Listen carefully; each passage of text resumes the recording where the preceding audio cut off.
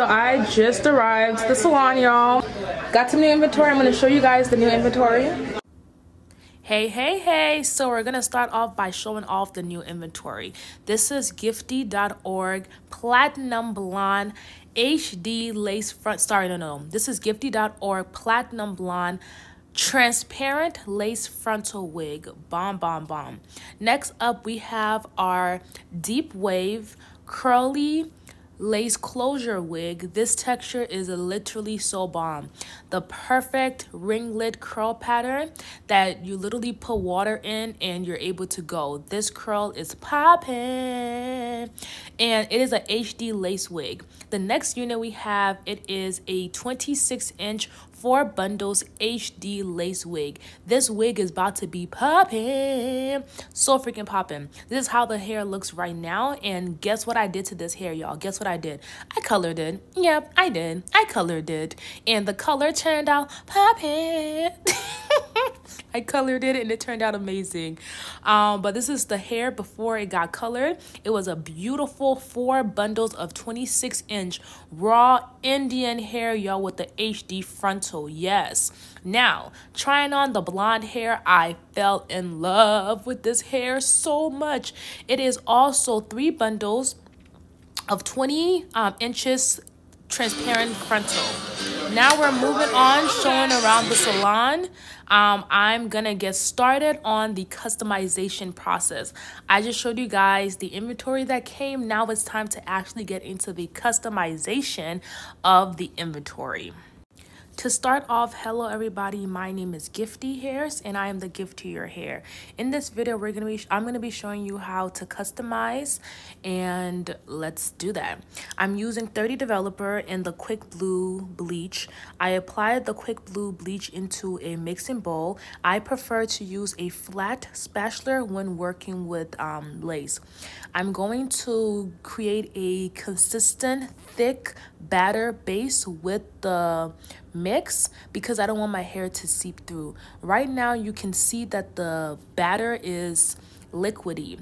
When it's too liquidy, this is going to seep through the lace and actually affect the knots to turn it to orange. You know, sometimes you see that orange kind of effect on your hair is because the formula or the batter that you mix is too watery. So for us to work with that, you have to go back in and add some more bleach powder onto the mix that you currently have.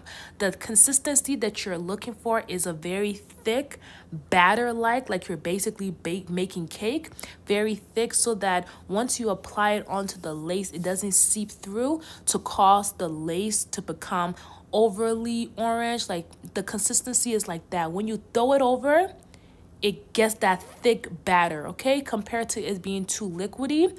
And the liquidy effect is to make the knots turn orange and not the beautiful color that you want.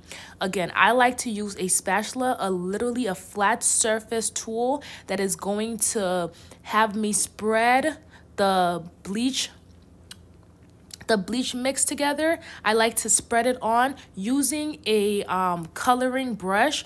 Has little tiny holes through the lace and the brush is gonna go it's gonna be easier for the brush to go through the lace because of the little tiny holes and really mess up your hair. So to avoid that i like to use a flat spatula or a flat tool and literally spread it onto um, the lace.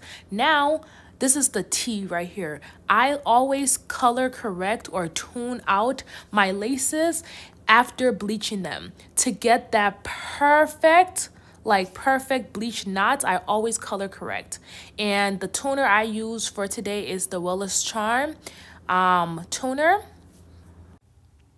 after getting the toner mixed together, I'm going to now proceed on working on the blonde hair. The blonde hair knots does need to be bleached so i go over i bleach the knots with the same batter using the 30 developer and the quick blue bleach. Now i'm going to wash out the bleach off the hair using lukewarm water just to make sure everything is off the hair. Moving on i am going to wash out the bleach off of the curly wig. This is the curly wig. I applied the toner onto it. So now I'm going to wash off the toner, not the bleach, the toner. So now I'm going to actually tone over the entire blonde hair. I toned the roots of the blonde hair. Now I'm toning the entire blonde hair. So I'm working on multiple things at the same time. I'm toning the blonde hair. I toned the curly closure wig. And then also I bleached the black wigs knots. So right now I'm completing the toning process of the blonde wig.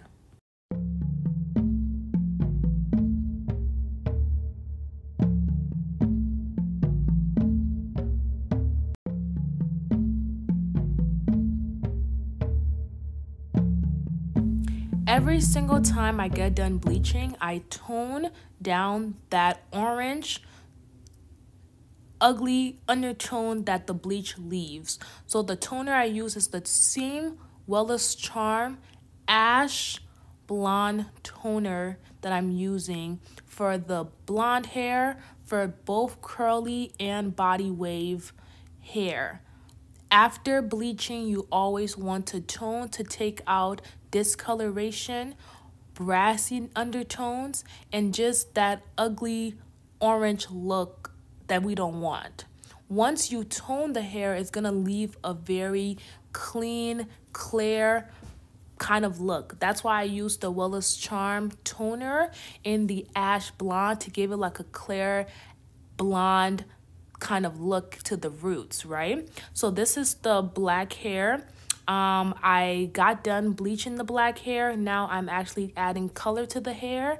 To add color to the hair, I did volume 30 and just some bleach. I did a beautiful chocolate brown color to the wig and I added some honey caramel colors streaks throughout the entire hair as well. Um this is how the wig looks afterwards y'all. This was the black wig you remember the black faux wig? This is what this this was the same wig. But basically, that was my day at work. Being a hairstylist, it is a amazing thing. You do have to manage your time very, very well. You will be doing multiple things at once, so just pay attention to detail when you're doing hair. Thank you so much for watching a day in the life of being a hairstylist. I am the gift to your hair, and I'll see you beautiful people tomorrow for another video. Bye.